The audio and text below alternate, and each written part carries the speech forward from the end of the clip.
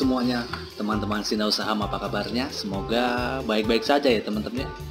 Ini adalah IHSG uh, charting yang lama ya teman-teman ya. Kita uh, IHSG hari ini kira ini closing ada di tanggal berapa sih?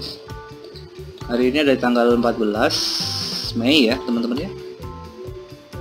Ditutup 4513 ya teman-teman ya 4500 merah ditutup merah ya teman-teman ya. Jadi memang hari ini market memang terus bergejolak bergejolak yang tidak benar ya tidak baik ya teman-teman ya. Artinya e, negatif gitu ya bukan positif. Ini pergerakannya sih sudah kalau kita lihat nanti kita bisa menuju ini ya nya lagi wah market sedang di gembur habis-habisan ya teman-teman ya. Tapi nggak apa-apa hari ini kita lihat uh, ada yang cuan juga ya teman-teman ya untuk saham-saham uh, yang kita pilih ya. Ada SMG, SMGR juga hari ini ditutup positif untuk teman-teman yang ikut ambil kemarin.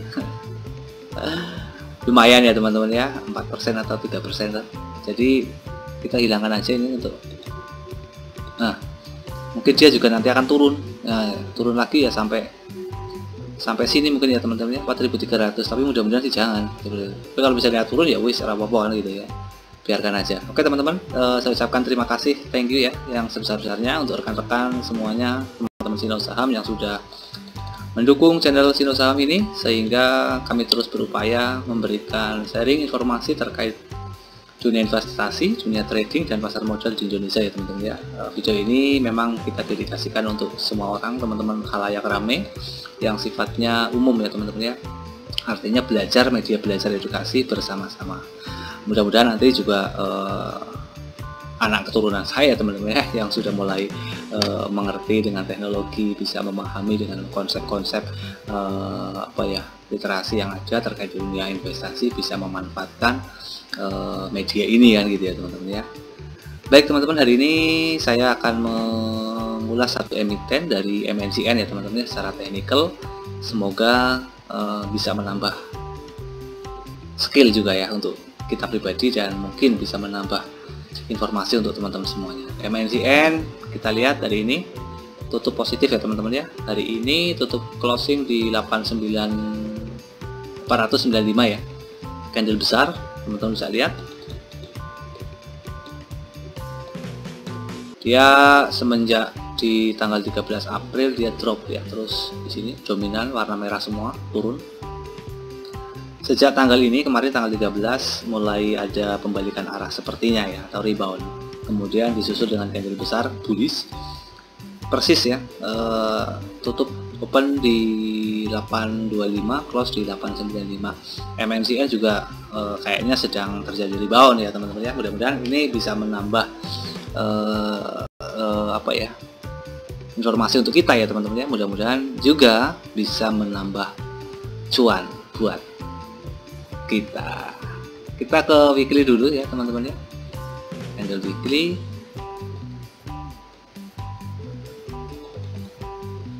Ini dia trennya.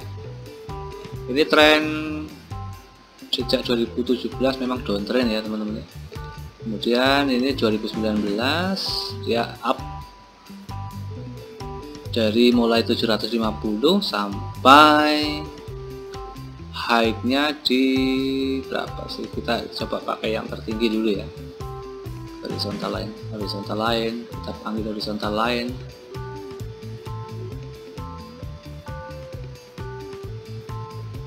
Tertingginya di sini di 1700 kemudian dia drop ya drop sampai di sini. Ini terendah di 2019 2019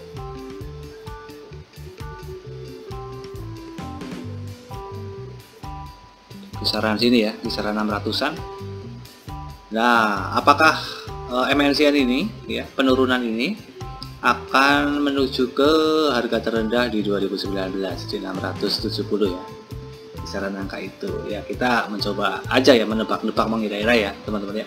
Tapi sekali lagi teman-teman ya tidak ada analisa ataupun indikator yang perfect atau sempurna ya teman-teman ya. Semua hanya dikendalikan oleh supply demand oleh market ya tentunya kita hanya bisa menganalisa berdasarkan apa ya data atau pengalaman dari market ini.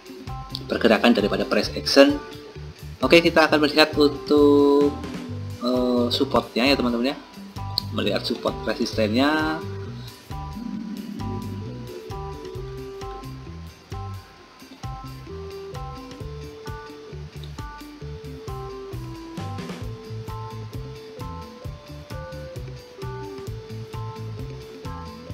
Mungkin kita taruh di area sini ya teman-teman ya.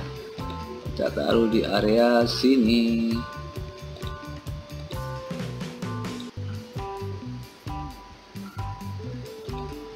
oke di 850 teman-teman. Untuk support daripada MNCN kemudian resistennya. Kita cari resisten ada di 1000 sini ya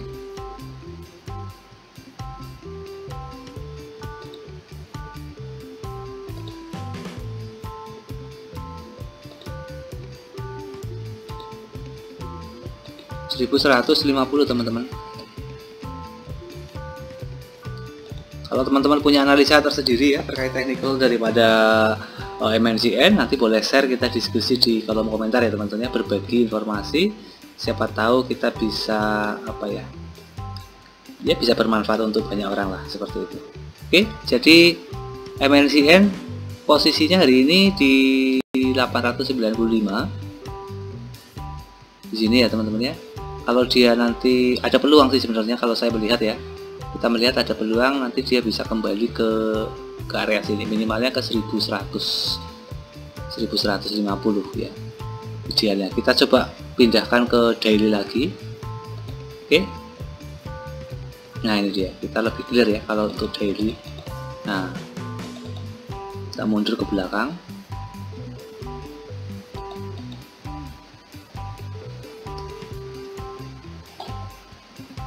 silakan teman-teman bisa uh, saling sapa ya. Uh, kita bisa biar mudah untuk saling berkontribusi ya. Kita bertukar pikiran boleh di kolom komentar sampaikan juga dari kota mana teman-teman ya biar kita uh, selalu terhubung meskipun dalam uh, platform di YouTube ini ya.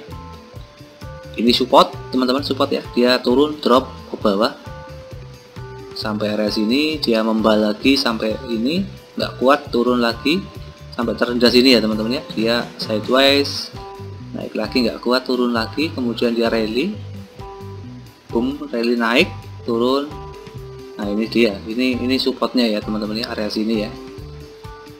Dia rebound sampai ya sini ya. Mungkin dia sedang tes ini sedang uh, retest area resisten ini uh, support ini ya teman-teman ya. Kalau dia bisa kesempatan naik lagi ke sini wah bisa cuan ya teman-teman ya. Tapi ya tetap kita disclaimer on ya teman-teman ya. Tidak boleh eh, semena-mena. Kita langsung hajar entry nggak bisa ya teman-teman ya. Ini dia.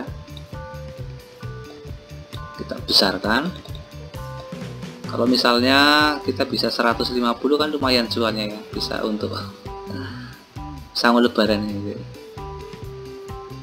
oke teman-teman ya mungkin itu sharing ini uh, untuk MNCN mudah-mudahan bisa bermanfaat untuk kita semuanya. Mohon teman-teman juga di apa namanya dilakukan riset ataupun analisa kembali jika teman-teman suka dengan MNCN dan hendak entry di posisi mana ya di harga berapa teman-teman bisa masuk dan level stop lossnya di area mana ya teman-teman ya e, sekali lagi kita disclaimer on hanya sekedar informasi terkait dunia e, trading thank you selamat beristirahat untuk teman-teman semuanya Jaga kesehatan selalu, happy cuan, dan selamat berinvestasi. Bye-bye.